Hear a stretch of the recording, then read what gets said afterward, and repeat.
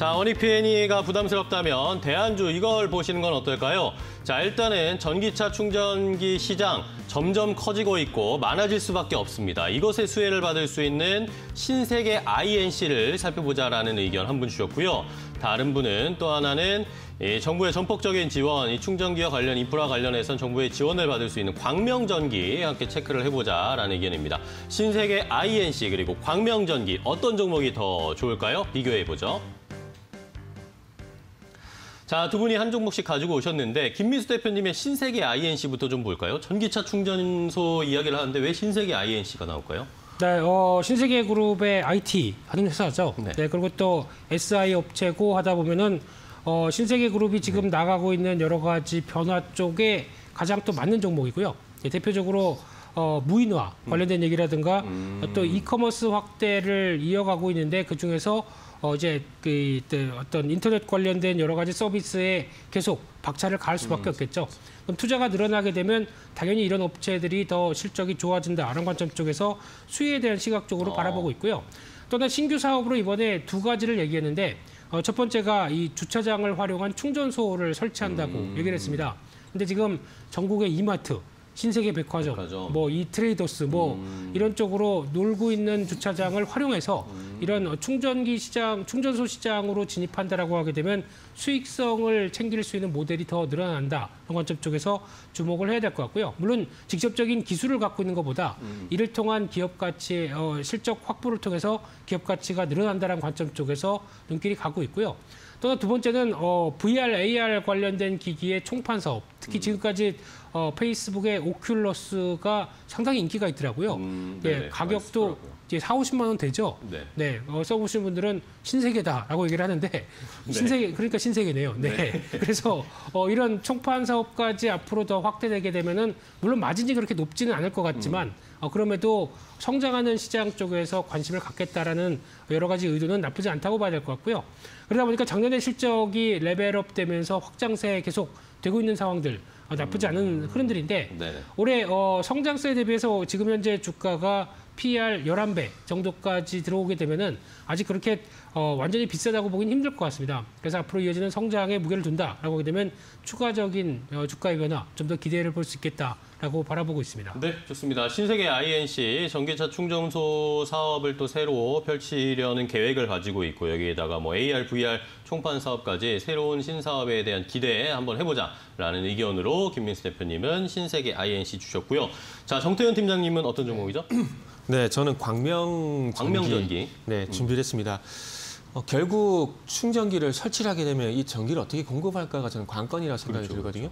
주유소에 땡크로리가 와서 기름을 채워주듯이 지금 마찬가지 전기차 충전소 같은 경우에도 ESS가 될지 아니면 직접적인 전기 공급 배선을 깔지 이게 좀 관건이라고 봐지는데 일단 만약에 전기 배선을 깔게 되면 광명전기라는 회사가 또 시간차도 좀 부각이 되지 않을까 생각을 하고 어. 있습니다. 지금 그 아파트에 그 충전기 의무 설치 얘기가 나오게 되면서 가장 먼저 ESS가 먼저 갔거든요. 네. 그리고 난 다음에 시간차를 두고 어제 아시다시피 또 충전기가 어, 부각, 부각이 됐는데 그래서 결국 충전소 인프라를 구축하게 되면은 전기 분배 시설이 저는 핵심이라고 생각을 하고 있습니다. 그리고 광명전기는 보통 대북 관련자만 얘기가 상당히 많이 나오는데 그렇죠. 이제는 뭐 그 전기차 관련된 부분들도 그리고 원자력 관련된 부분들도 볼 수 있지 않을까 생각이 하고 있습니다.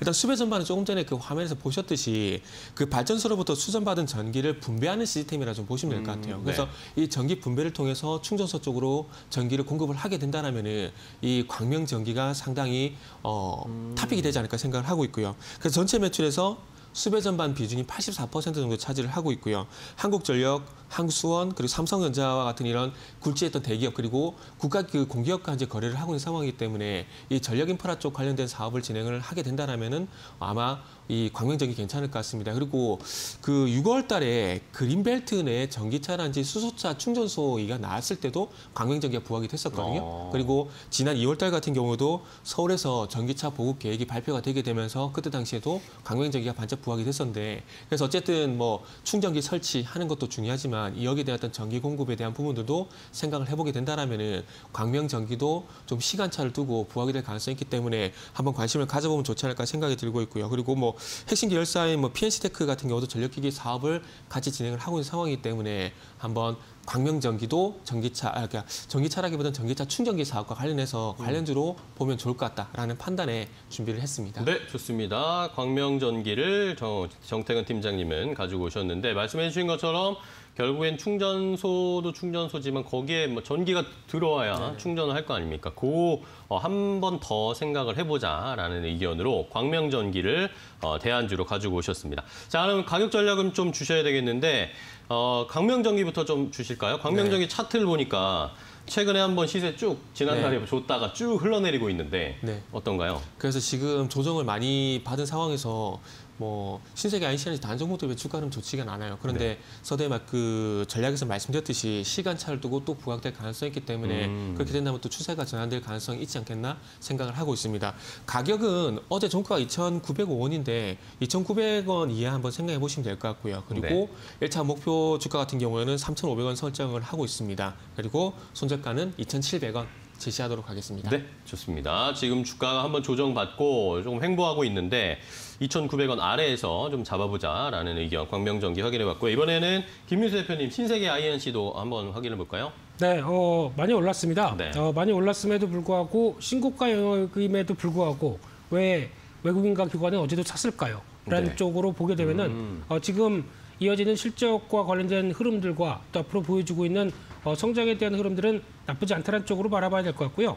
그런 쪽으로 봤을 때 약한 어, 23만 5천 원대 정도로 어, 단기 차익 매물 나오는 정도 때는 한번 접근 가능하겠다라고 바라보고 있고요. 어, 목표가는 28만 원대로 좀 더 확장된 국면 쪽의 흐름을 새로운 영역입니다. 네, 안 그려집니다. 신고가 네. 도전합니다. 네, 그 정도까지 바라보고 있고요. 손절가는 21만 3천 원으로 박스권 하단부 이탈 쪽을 손절가로 말씀드리겠습니다. 네, 좋습니다. 신세계 INC의 가격 전략 신고가에 도전한다. 28만 원 목표가 제시를 해 주셨습니다. 자, 오늘 이렇게 두 분이 좋은 대안주 하나씩 가지고 오셨습니다. 좋은 종목 소개해 주셔서 감사하고요. 전기차 충전소 확대, 전기차 사업을 또 전기차 충전소 사업을 확장하고 있는 신세계 INC 그리고 어, 전기를 배선할 수 있는 어, 기술을 가지고 있는 광명전기 대안주로 소개를 해드렸으니까요. 잘 참고해 주세요. 자, 오늘 두 분과 함께 이야기 나눠봤습니다. 좋은 종목도 두 분이 소개해 주셔서 감사하고요. 다음 시간에 또 두 분 뵙도록 하겠습니다. 고생 많으셨습니다. 고맙습니다. 고맙습니다.